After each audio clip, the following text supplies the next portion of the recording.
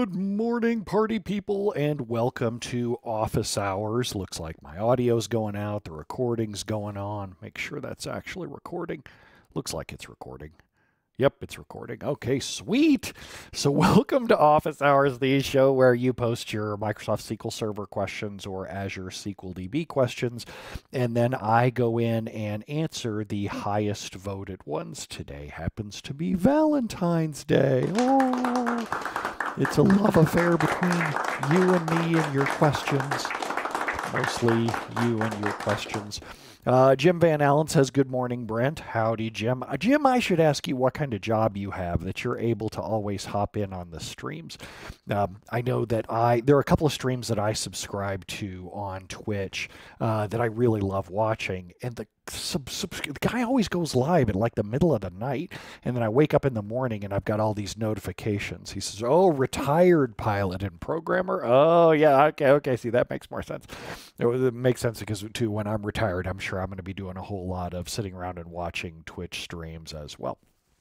So let's go in and take a look at your highest voted questions so the highest voted question comes from Reluctantly Tolerant. Reluctantly Tolerant says, I used failover clusters instead of AGs when I have over 500 databases due to the worker thread limits with AGs. Why would I ever use AGs again? He says, You shouldn't. You shouldn't. You've found the right answer. Failover clustered instances are generally a better answer than availability groups when you start to have hundreds of databases on the same server.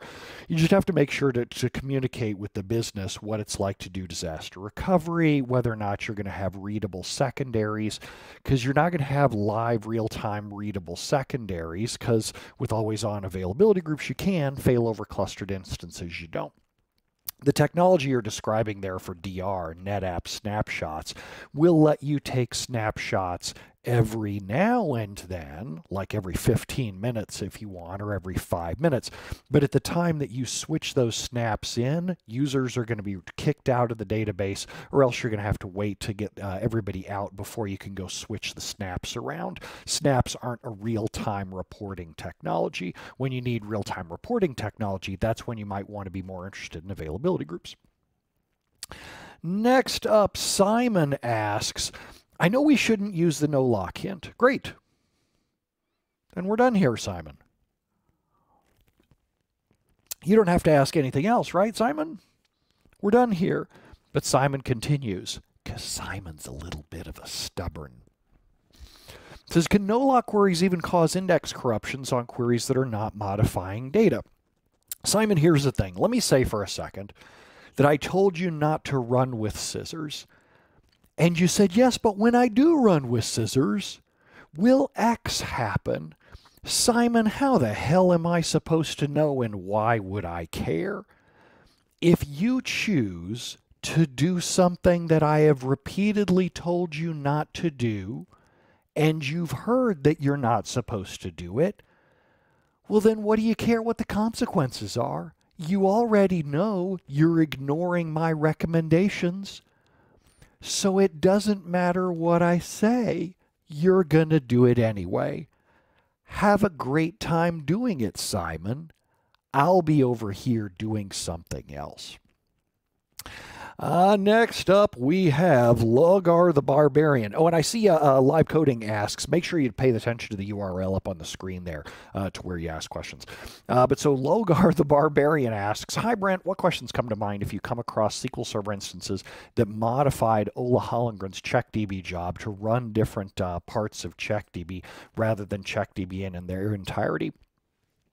If the scripts were written correctly, and they had no bugs, I wouldn't have a problem with that. But you know what? Every single time I've run across someone who tried to get fancy with DBCC CheckDB, every single time, it's not like some of the times, it's not like every now and then.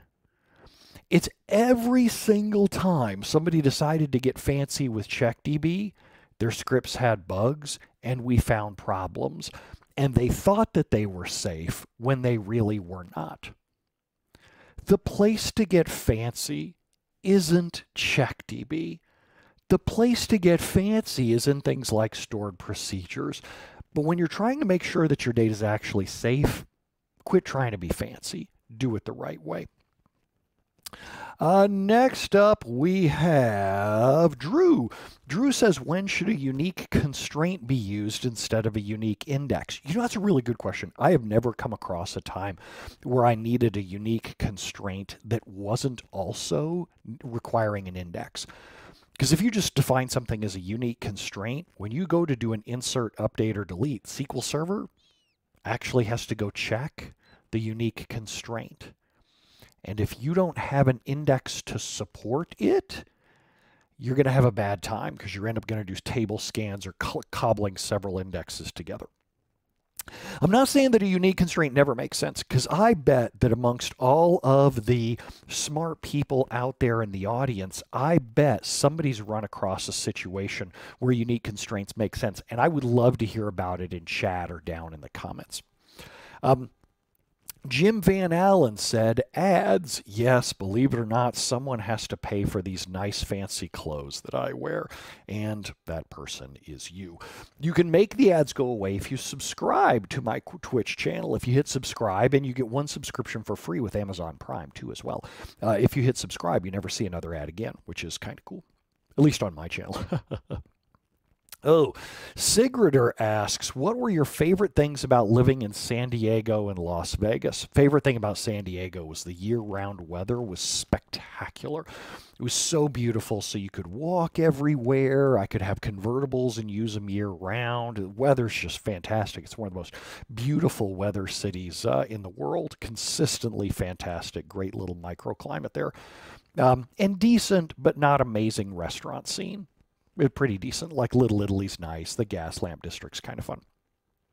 Favorite thing about Las Vegas is that as soon as you get outside of the strip, it feels like a much smaller city. Uh, there are all kinds of suburbs. Like I live out in a suburb with all kinds of uh, uh, nice, quiet streets and established uh, trees and things like that. Um, but if you want to go party, there's an unlimited number of amazing restaurants, bars, uh, music festivals, bands, shows, magic, all kinds of stuff. Like if you're bored in Las Vegas, it's your fault. Um, because all the tourists that come through here all the time kind of subsidize all that. So never a, a dull moment in Las Vegas. There's always so much amazing stuff to do. Weather's not as good as San Diego. San Diego had better weather, but Las Vegas has more stuff to do and lower taxes too as well. Uh, uh, let's see here. CTI Geek says, Don't the tourists bother you? Not at all. I've actually always lived in cities that had a really high tourist population, or I've, I've loved those cities. I lived in South Beach for a while, downtown Chicago. I love being in places where there are a lot, San Diego for that matter, um, where there are lots of visitors in because it, it always kind of feels fresh and new. If you go to a place that's so nice that people want to come visit, generally that means the place is pretty nice. Ah, Jim Van Allen did the Prime thing. Welcome to uh, the subscription. I know it's kind of a pain um, uh, Igor says hello from Brazil. Howdy, Igor. Welcome to the chat. Next up, we have uh, says, What is your favorite standing desk and why? I wouldn't want to give like comparison reviews like I've uh, you know come to a conclusion across looking at all kinds of them. The thing that you want to know when you're looking at standing desks is how sturdy is it? There are all kinds of standing desks out there that are flimsy as all heck. So when you're typing, the monitor shakes. And if you have a camera on your, uh, like a webcam or whatever for calls, it's shaking too. That's distracting as hell. So I try to get the, the, the uh, most solid uh, standing desk that I possibly can.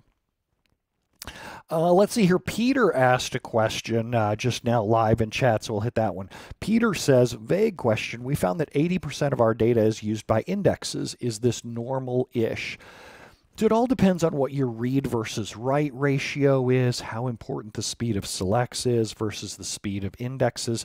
To learn more about that, attend my Fundamentals of Index Tuning class. Fundamentals of Index Tuning. If you go to brentozar.com, click Training up at the top, I tell you how to tell if your uh, database has too many indexes, not enough, and then what steps you should do about that.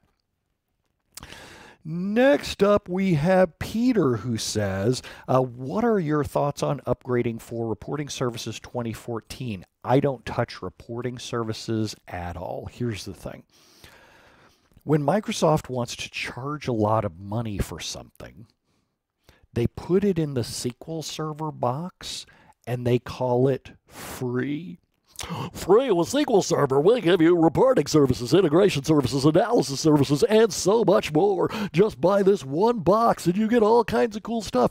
And that makes sense when the thing that you really need is the engine and you only need a little of the other stuff.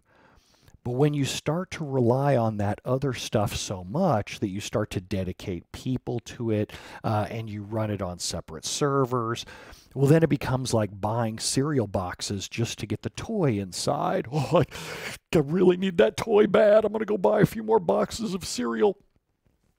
So if you start looking at that thing as instead of being a free toy, look at it as I'm spending $2,000 a core for this, then that starts to reset your expectations about, oh, wait, is this actually a good tool for that much money? And what you find out when you have, say, reporting services 2014 or 2019 is that other services make a lot more sense. That reporting services isn't really getting any love for Microsoft, hasn't had any improvements in the last decade, any significant improvements, and you should probably be somewhere else. So, like you said, you're planning on moving to Azure. It's probably time to start looking at things like Power BI.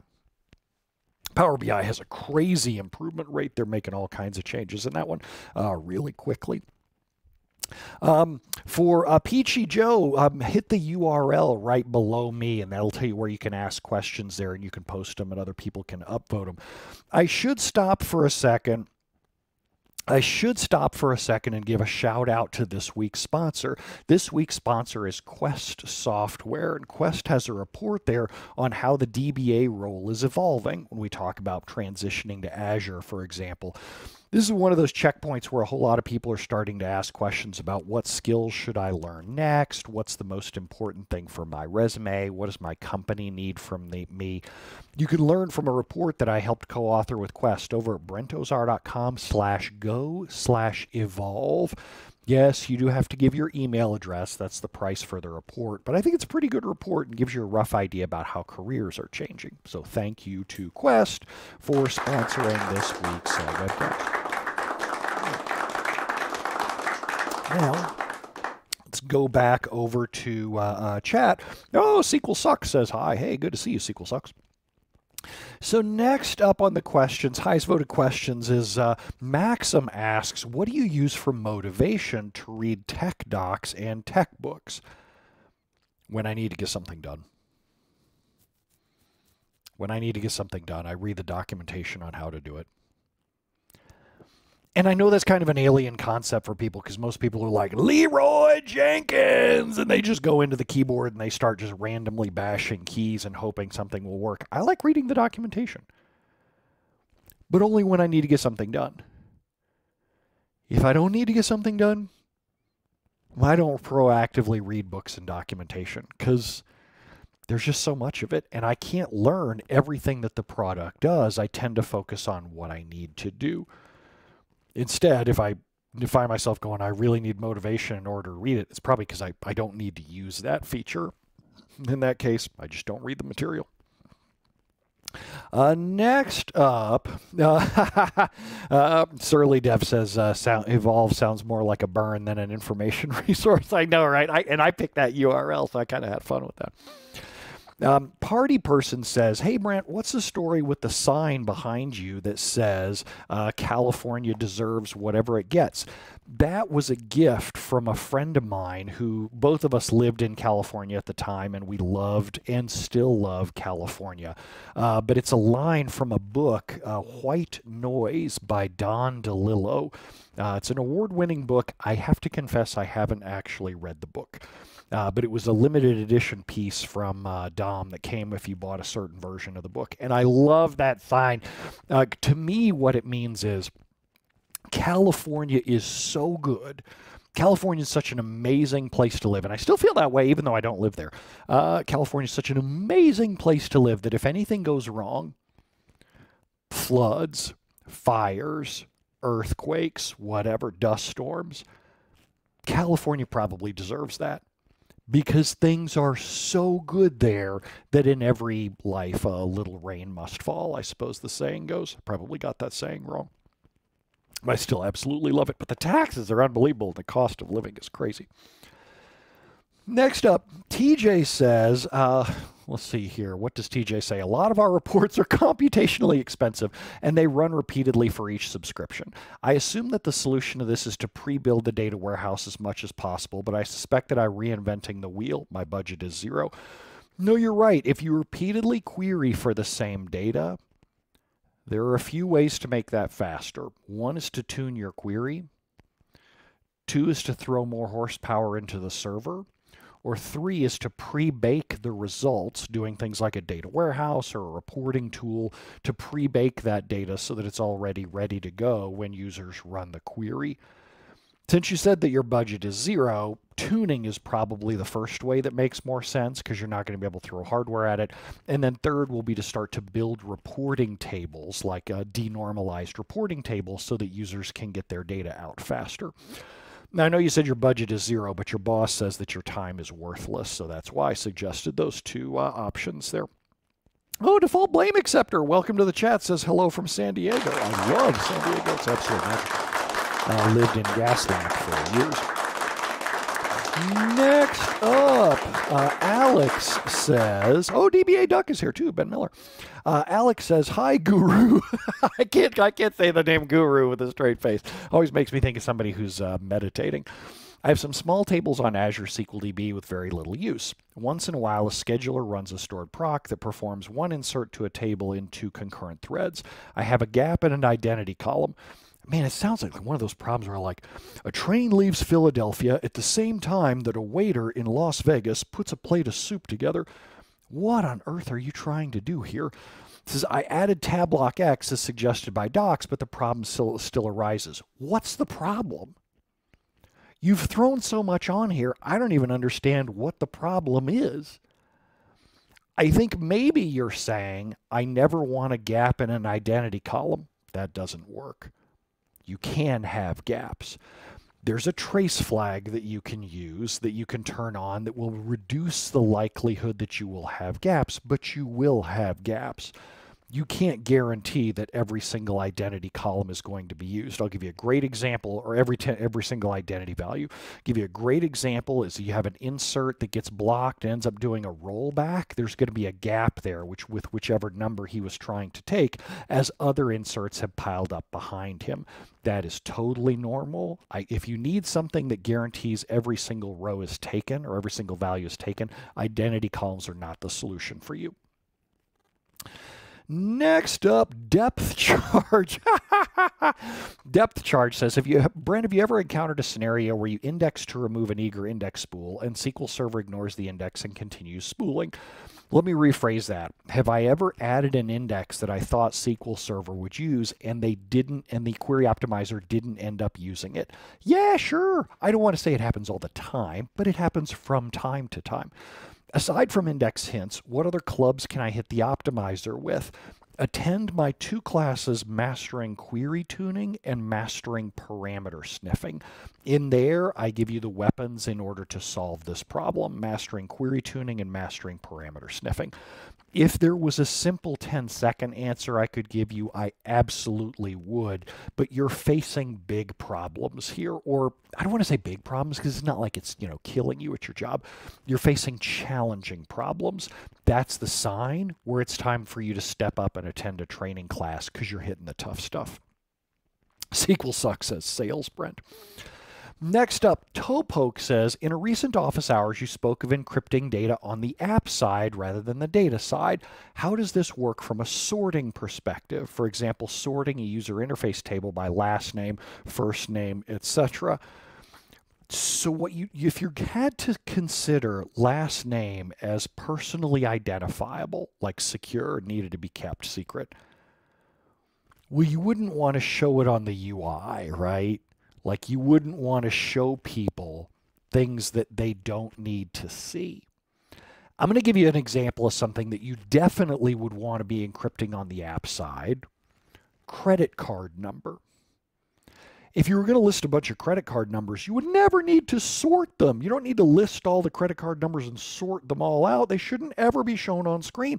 They shouldn't be available unless you desperately need that credit card number. In most cases, you don't. You shouldn't even have that number. Last name isn't usually considered quite that private. Now, for some places it is, like if you're doing daycare or you're doing healthcare type stuff. But even then, you wouldn't want to show every patient in there organized by last name. You probably want to have some kind of privacy. But if you do need to show everyone by last name, then you got to get everyone back. Go get them all back and do the sorting on the application tier.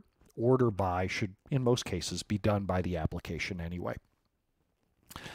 Uh, next up, QEnt says, Hi Brent, are you aware of MCR, maximum consumption rate? Yes, absolutely I am. Do you think this is a reliable method for CPU sizing? No, I do not. They can't all be long answers no, it doesn't make any sense for me because if somebody asks me, hey, how big of a SQL server do I need? The first thing that I go do is I go look at the workload on their existing SQL server. I look at that workload and I go, what's your top bottleneck? And if the top bottleneck is CPU, then we look at how many CPUs they have. We look at whether or not we should tune those queries in order to reduce CPU load. And then we start asking questions like, well, how many, how much larger do you think you're going to grow in the next few years? Uh, are users happy with CPU capacity now or, or query performance now? But I, I don't measure MCR anymore. I did a presentation at TechEd like 15 years ago explaining what it meant, just really for the purposes of saying you need a SQL server with I/O that's at least this fast if you're going to saturate the CPUs. Uh, Ren asks, Hi Brent, building some reports for our SQL server, and I found one of your old replies on Stack about finding CPU time for databases. Now, to, to kind of summarize that up, you can't find CPU by database because of that nasty problem cross database queries. Ren says, do you think it's a worthwhile stat to determine to use what should we move to cloud first? Have there been any improvements to 2008? No. The thing that I use to determine whether or not we should move it to cloud first is is this a self contained application in a self contained database with no cross database queries? If it has vendor apps are really uh, common for this. Like some vendor will say, "Here you go. Here's a database, and nothing else should be querying this, and here it's all by itself, just this one database." Great. Put that in Azure SQL DB. Reason is Azure SQL DB doesn't do it, and I'm just talking about plain Azure SQL DB, not hyperscale or managed instances or elastic pools or any of those other things. Plain old Azure SQL DB doesn't do a great job of cross database queries, but it's great for those standalone applications that just need to work. You probably don't have a whole lot of other applications that touch the database. It's just this one little utility database that you throw up there. That's nice and easy, and it just takes work off your plate. I like it a lot for that. Uh, Tim asks, Hi Brent, I like the fundamentals of PowerShell. Will there be a mastering PowerShell? That's a really good question. He says, Will you be working with Drew more in the future? So, Drew went to work for Microsoft. Drew used to uh, teach, uh, teach the fundamentals of PowerShell course for me, actually. We did it live uh, several years ago and when he went to work for Microsoft, that makes it much harder to teach training classes and make money from them. So I said, hey, if you're not using that material anymore, I'll buy it off of you. If you just want to record it once, I'll pay you for it. Then we can, you know, include it as part of our bundles.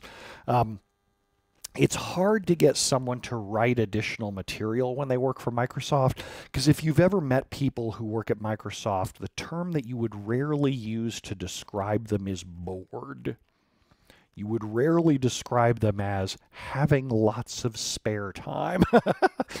uh, they tend to be fairly overworked uh, and like, oh my God, I'm trying to keep up with this fire hose. Um, so I love Drew to death. He's fantastic. The course is really good. I worked through it myself too as well because I'm adding in the notes on how to make it work on Mac. Um, but I don't know if we'll do a mastering PowerShell or not. And I don't pre announce courses. But if we did do a mastering PowerShell course, it would involve dbatools, the dbatools framework. I, I don't see it on the near term horizon, though. Uh, next up, Stone Temple Pilot says, How do you measure bad page splits for inserts on a poor clustered index? Search for that exact term that you just used, plus Jonathan Kehayias, K E H A Y I A S. And Jonathan has a post on SQLskills.com about how you do that with extended events. Next up, we have, uh, let's see here. Paco says, Hi, Brent. I have a friend who's facing a server that has thread pool waits and non yielding schedulers. They cause the AG to fail. Have you seen thread pool waits cause non yielding schedulers or vice versa? Yes.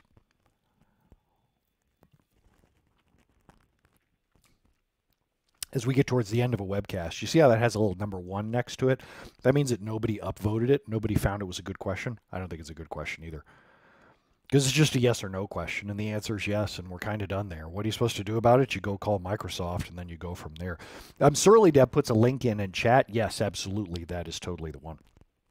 Um, so the fact that we're down to the one vote ones should uh, probably tell me that it is time to wrap up. So thanks everybody for hanging out with me. I will throw in one more shout out to our friends at Quest Software, the sponsors of this week's webcast. If you go over to brentozar.com slash go slash evolve, they have a white paper there that talks about how the DBA roles are changing in the coming years. Thanks for hanging out with me today, and I will see y'all on the next office hours. Adios.